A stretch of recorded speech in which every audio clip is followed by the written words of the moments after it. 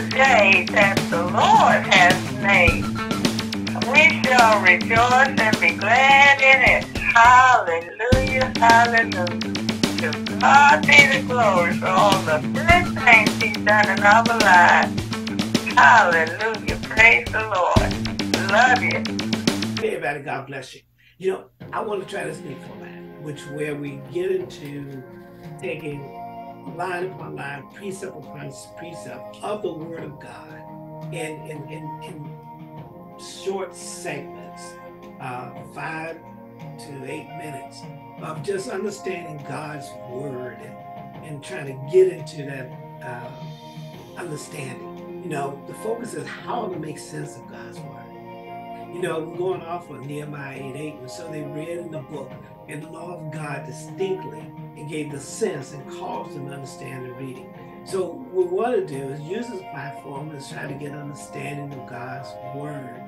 And you know, we can't, I think we all agree, we can't cover everything uh, in, in, of the Bible, entire Bible in one setting. So we're not going to do that.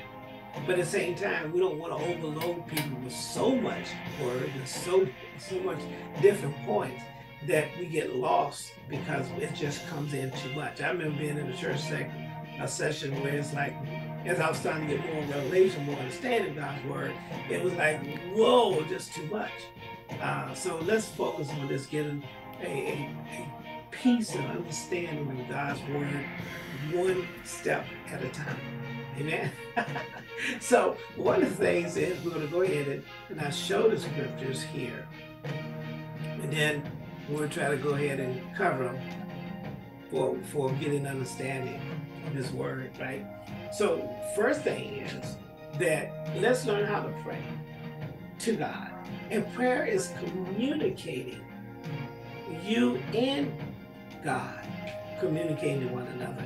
And, and I know some people to say, well, how do I hear from God? Well, that's one of the things you need to understand is that in our day society, we have many different ideas and thoughts and opinions, and, and we, we, got it from, from the world, and, and then we got the spiritual realm of, of thoughts and actions coming.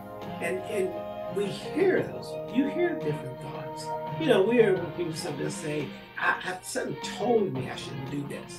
And and what we need to be to learn to filter out what is God's word when God is talking and when the world or unfazed is unclean is talking.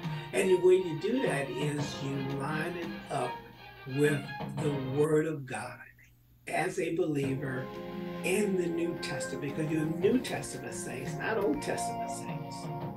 You know, because there's a lot of things that happen in the Old Testament that, that we don't do, such as, you know, we don't go and invade uh, another country and we don't we don't take out move that run that country away and then claim it as our own god promised them that land.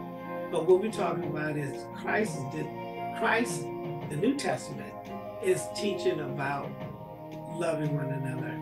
We're not not talking about conquering anybody but helping people to hear the gospel. Amen? So that's what we're going to focus on and one of the things is learning how to pray and communicate is Matthew 6, chapter, verses 9 through 15. And you say, it says, after this manner, therefore pray ye, our Father which art in heaven. We're talking about God the Father in heaven. Not your political party, not your nation, not your constitution, but we're talking and praying to the Father in heaven, the creator of heaven and earth. Our Father which art in heaven, hallowed be thy name, we glorify you. And you created us. And we're only here because of you. Thy kingdom come, meaning God has a system and he's the king of that system. And what we need to understand is operating his kingdom.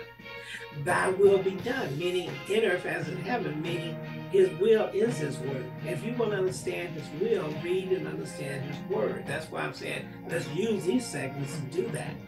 Give us this day, is a daily thing, our daily bread, which is the word of God.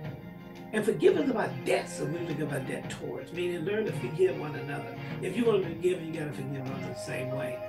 And lead us not into temptation, but deliver us from evil, meaning we want to be led by the Holy Spirit. That if we do come under temptations, it's something we know we can pass because we're relying on the anointing of God. And deliver us from evil, we want to understand and operate in the hedge of protection that comes from God to deliver us from the evil, because we know there's evil in this world. And we want to, we can't depend just on our flesh. We have to depend on God to, to lead us and deliver us from evil. For thine is the kingdom. Once again, it's saying his kingdom, his system matters. And the power, the real power is not in, in political power, it's not in the flesh power, it's in God's power, the eternal power that comes from God. For thine is the kingdom and the power and the glory, his glory, not vain. That's why when we, the people have been duped to sit there and try to think that, well, I'm going to be uh, a black supremacist or white supremacist or any other type of supremacist. That's vain glory. The real glory is God. And, and, and he wraps it up again by saying in 14, For if you forgive men their trespasses, your heavenly Father also forgive you. But forgive me not your trespasses, neither will your Father in heaven forgive your trespasses. And, and, and that's why I think it's critical for us to recognize the importance of understanding God's word. I don't, I don't know how, I don't know why the, the atrocities that occurred uh, for the crusade or the Spanish Inquisition or the, uh, the Atlantic slave trade or the 400 years of slavery or the lynching that occurred after slavery. We just come from a holiday, Juneteenth. And the fact is that some people were still made to be slaves even after the war was over. Because the people would sit there and say, no, we're, not going to take it. You know, but they were free, you know. And, and we're free today. We celebrate that freedom this on this last weekend. And I'm saying is let's focus on the freedom to choose. God gives you that freedom. But God loves you. And we want to make sure that when you hear, you want to hear from God, Study His Word, understand His Word. That's what we're trying to do. All right? Well, God bless you. I hope you like this little short segment. Uh, give you time to chew on it, meditate on it. maybe keep coming back to that until we get that down pat. Then we'll move on to another segment. And, all right. God bless you. And I hope you have a great day. I'll see you when I see you. Bye bye. This is the day that the Lord has made we shall rejoice and be glad in it.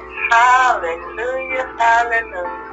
To God be the glory for all the good things he's done in our lives. Hallelujah. Praise the Lord. Love you.